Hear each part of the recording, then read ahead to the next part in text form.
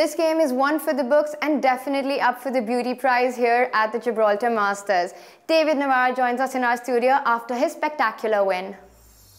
David, a very, very nice win with the black pieces at a very critical moment in the tournament and a very fascinating game as well. Thank you very much. Uh, may I show you the lines? Yes. Take us through the critical moments. Not, not to you, but to the spectators. so at this position, uh, white is a pawn up, but his king could potentially become weak, and I expected knight 1 a3 when, one, when white uh, wants to castle queenside. And my problem is that my pieces are somehow pinned. And if I don't want to exchange queens, uh, I have problems to organize counterplay. For example, if I play bishop a8 and white castles and uh, I go here, f4 might become a threat as my d7 knight is hanging. Yes, and you don't want to trade queens because you've got your pawn down in this position, yes. so you want to keep the pieces on. Okay, I might have some compensation, but uh, I would prefer to keep the queens on the board. So I was really surprised by knight a7, but it's actually not uh, easy to react correctly to this move. So I was afraid I could be worse, but uh, I took. Um, so you were surprised because you were spending a lot of your time calculating knight a3. You weren't expecting knight a7 on the board? Uh, I spent some time calculating knight a3, but I just uh, considered it uh, a logical move, if right. anything can be logical in such a crazy position. and I have not seen knight a7 at all because it, to me it looked that white should complete his development and I believed I should have some counterplay here after bishop c5, probably some draw which was true. Okay, originally, originally I believed that knight c5 could be good, but unfortunately it's not the case for white can give up his queen and to get a rook or and two minor pieces for it, right. which is quite a lot. So I played bishop c5. Okay, white can decline the offer, the offer, but then maybe I take on b2. Ah, sorry. No problem. Then maybe I take on b2 and uh, get at least uh, counterplay. You mean with rook b8 yes, next? Yes, uh, knight d2, rook b8, rook takes b2, and it's unclear. Let's just have so, that. So this was your threat if black does, if white doesn't trade? Yes, so he took the piece, and it was not actually so easy to find a good move here because I had so many options like queen d6, queen d5, but the problem is that after queen d6, the queen will not be on d5, and uh, in some lines it's not that good. For example, here, if I give check on g3, well, just move this king on c2 and consolidates somehow, and uh, I might be losing probably.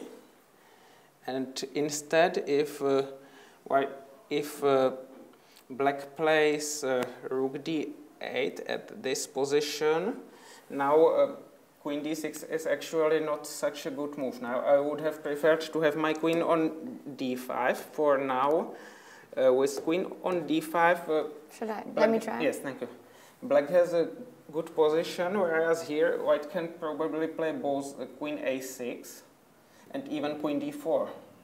And with queen on d5, there would have been a check queen on d3. B3 and you take it. But now it has bishop d3. Oh, nice. Tempo. This is a very nice detail. And then your queen's attacked as well. Yes. I missed this move. No, there is a pawn, sorry. I couldn't see it. I wanted to conclude that there was a rook g1, but uh, I just had my hand in front of the board, so okay.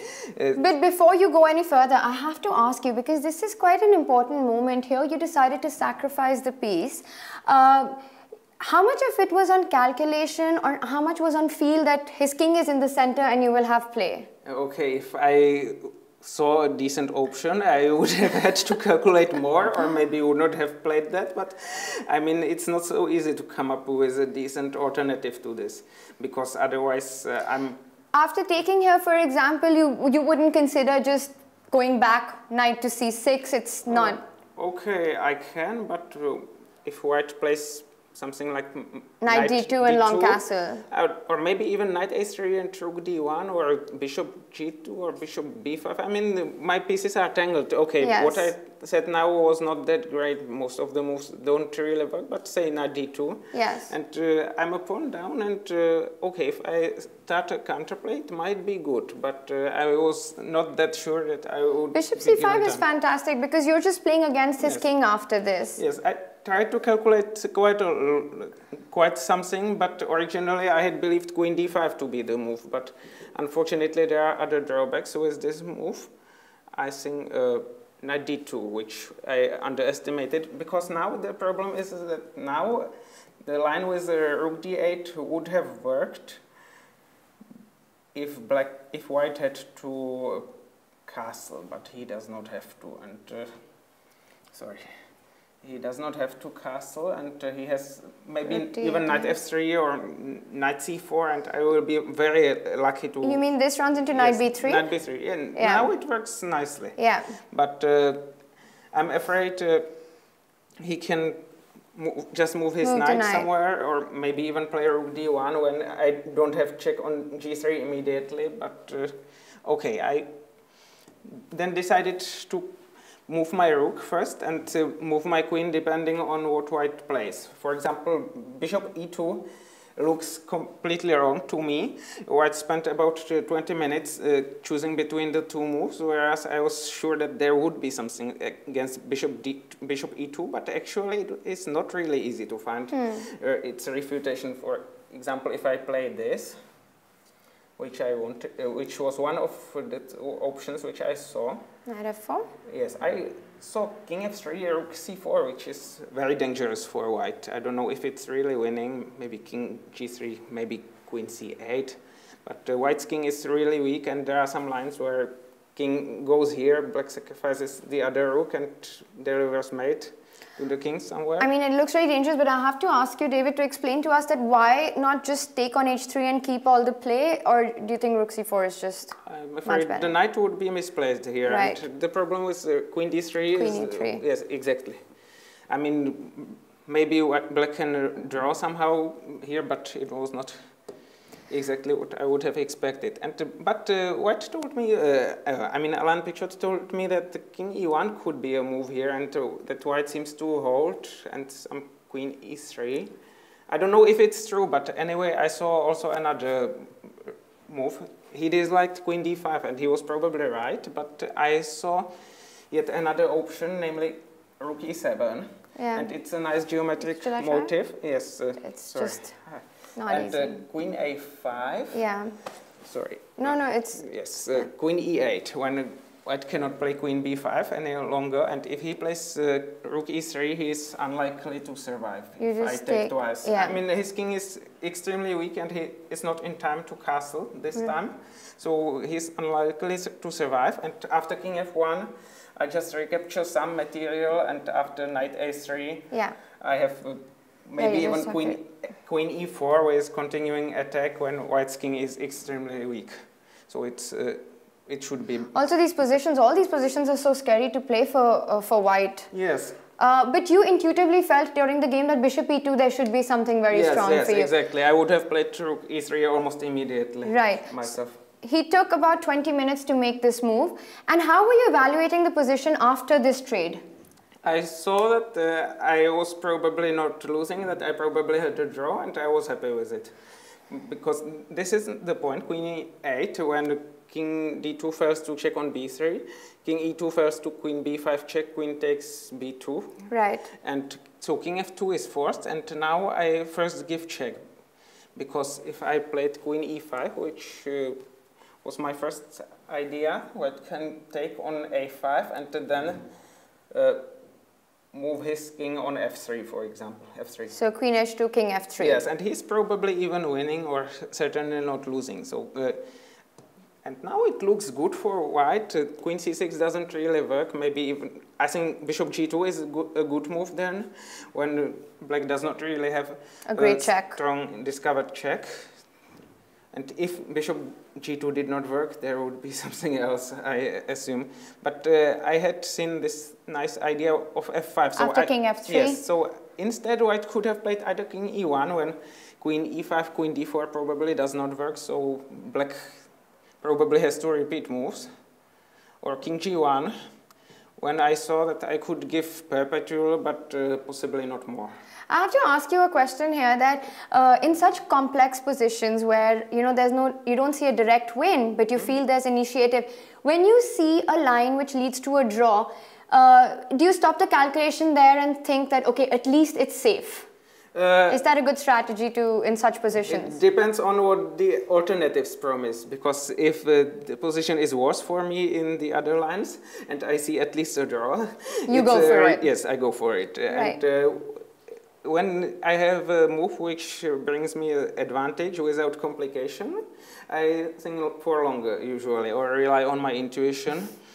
I mean, okay, intuition is a nice thing, but uh, it should be complemented with, calculation. with, calculation and the other way around also. Yes. And uh, I'm sometimes joking that intuition is an ability to uh, make correct conclusions based on wrong or incomplete uh, grounds. right. So king f3 is a mistake in my opinion. So as I have f5 and now I'm threatening queen h5 check. f5 is a very nice move because it yes. just opens up. And you said this is an idea you had seen earlier. Yes, uh, I had seen it several moves earlier. Uh, GF6 is uh, probably forced, and uh, I think White resigned a bit too early, or not resigned, but gave up a bit too early here, because uh, after Queen G4, the main point is that White cannot play King C2 in view of Queen D1 mate. But in fact, after Queen D4, I think there might be reasonable drawing chances. Maybe Queen C4, uh, King C4 now when I take first before taking, or maybe King E4. And now white recaptures with one of his pawns. I don't know which is the right way to recapture it, but the idea is to take, now possibly to play h5 and then possibly to sacrifice uh, the knight. the knight and try to create some fortress, ideally not losing the rook on the way.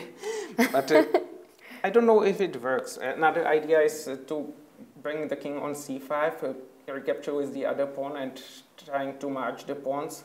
Right. And, but he decided to go for king e5 yes. here. Yes. And it collapsed quite quickly now. Yes. Uh, frankly speaking, originally I uh, had not seen one important defensive idea, namely king d6 here, which uh, seems to work somehow because now there's king e7 and white gets too much material for the queen. After queen g7 you yes, just take. Yes.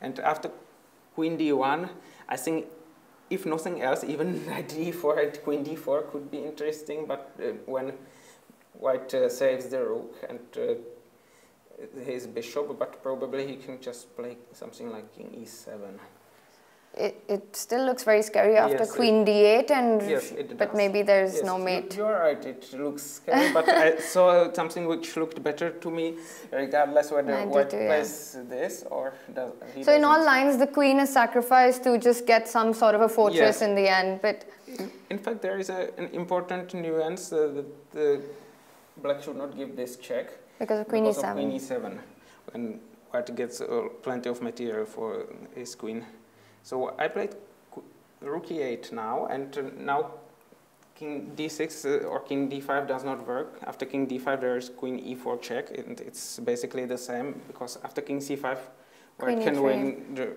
queen. Yeah. Okay, and uh, right. after king c7, there is mate. In fact, more than one mm, probably. Very beautiful. this, is, this yes. is this is a beautiful game, David. So king e queen e7, gf6. Now this is not an option in view of queen g6 or yes. queen h4. So king d6, and uh, now I have an important check. And frankly speaking, I was lucky. I mean, even queen b3 is better for black, but far from winning. And uh, taking on e7, I missed this option. But luckily for me, black is still winning, because now mate is threatening, and if black played queen a2, white would have drawn this is like a study position yes, because black has yes, to play h5. Exactly, and now white just gives perpetual check. On g6, g7, and g8. Yes, but what black plays h5 instead, and after queen, after rook g6, there's probably even a check or king h7, and it seems to me that uh, it should be an easy win now. Right. So Sorry. But here black white just went b4 and it just collapses after this? Yes, because uh, his rook is hanging and his knight is hanging and there are so many checks.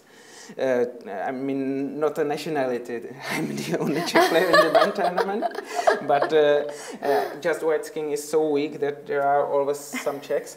Uh, my original intention was queen c1 when I'm threatening some sophisticated. Okay, no, I'm threatening just this, but uh, if White plays uh, I mean, if white plays king e8, you have queen b2 as well. Yeah, I mean, I can take and but yes, many there, things. There was some idea connected with queen c7 in some line, but uh, I disliked check. Uh, no, no, no, no check. Then I disliked queen, king d6, queen b2. I could not find anything better. So he has to yes, give a check. check. And now after uh, now king g7. Sorry, no. after knight e3, black is still winning a rook through queen oh, e5, nice. queen e4, or queen, queen d5, d5, depending on where white's king goes. But there's rook a7, and of course it is lost. We all know that it is lost. But uh, I would still need to some make time. some moves, and uh, okay, I still need to be a little bit careful. But after queen d3, just nothing works because I'm threatening to win a rook. Yes. If the rook goes on a8, there will be double attack on e4. If it goes on a7, there will be double attack on e3. Yes. And uh, if the rook moves elsewhere, then at least the knight is hanging. So the queen is just very yes, powerful yes. in all positions. And this loses the rook again to g7 yes. check. Yes. That's a beautiful game, David. To win with the black pieces in this manner uh, definitely puts you in the mood for the last round. Yes. Uh, I hope uh, I will play well in the last round, and uh, I'm happy to have played such a nice game because it's probably my best, not maybe not best, but uh, my nicest game I have uh, played in Gibraltar so far. Wow, that's saying something. That F5 move was absolutely class, and also such a nice game that we had Grandmaster Liam here in the commentary room watching throughout. Uh, this one's up for a beauty prize for sure. Well done today, and best of luck for Thank tomorrow. You.